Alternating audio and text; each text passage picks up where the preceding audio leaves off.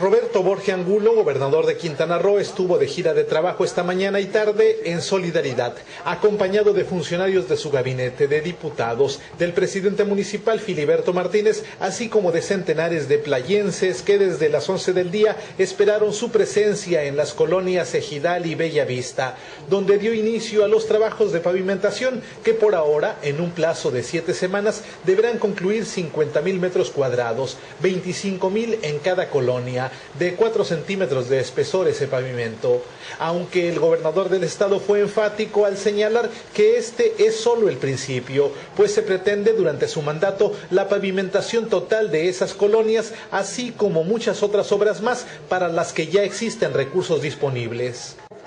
Vamos a meter ahorita en programas de beneficio social donde va a participar el gobierno de Quintana Roo y su gobernador el gobernador del estado aprovechó la ocasión para explicar a los solidarenses la importancia de un recientemente aprobado refinanciamiento de la deuda del estado, que aseguró permitirá tan solo durante su gobierno un ahorro de 3 mil millones de pesos, pero que será aún más importante en los montos finales de la deuda pública. Y en ello dijo el apoyo de la mayoría de los diputados de todas las filiaciones políticas de la actual legislatura fue invaluable, por lo que hizo un reconocimiento público. Yo quiero hacer un reconocimiento aquí a los diputados de la decimotercera legislatura del Estado, a las diputadas y a los diputados, porque por mayoría, 23 votos contra 2, aprobaron el refinanciamiento público del Estado de Quintana Roo. Y este financiamiento que vamos a hacer una renegociación, nos va a permitir ahorrar 3 mil millones de pesos, nada más en mi tiempo como gobernador, pero en la duración de todo el crédito nos va a permitir ahorrar como Estado más de 8 mil millones de pesos. La visita de Roberto Borge Angulo a Playa del Carmen se llevó a efecto en el Día Mundial del Turismo, que se festeja hoy 27 de septiembre. Por ello, el tema no estuvo ausente de la agenda y aseguró que en todas las acciones de su gobierno siempre este tema es primordial, pues tan solo un dato ilustra su importancia. Quintana Roo ya recibe la mitad de todos los visitantes nacionales o extranjeros en México. Creo que Quintana Roo está dando la cara por México. Quintana Roo está dando la cara por México en materia de turismo.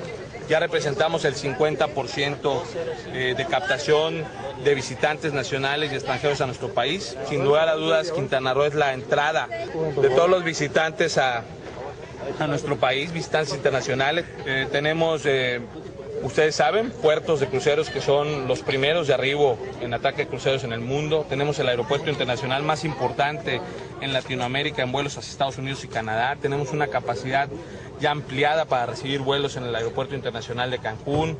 Estamos incrementando una mejor infraestructura carretera. Ya los turistas, ya no tenemos las quejas con nuestros mayoristas para que el tortuoso tramo que era atravesar Solidaridad ya no lo vamos a tener Ustedes ya lo vieron aquí con la inauguración de los puentes que tenemos ahorita en solidaridad en beneficio de la gente, de los turistas. ¿Qué es lo que estamos haciendo? Dándole una mejor imagen al turismo, dándole una mejor infraestructura y calidad en los servicios. Yo estoy seguro que hoy en día en Quintana Roo pues debemos de sentirnos muy orgullosos en el marco del Día Internacional del Turismo. Después de la visita en las colonias Ejidal y Bellavista, alrededor de la una de la tarde, el gobernador del estado se trasladó hasta el edificio sede del Sindicato de Taxistas Lázaro Cárdenas del Río para inaugurar una moderna unidad deportiva que ya incluye una cancha de fútbol y otra de softball. Ahí refrendó su aprecio por los conductores de vehículos de alquiler.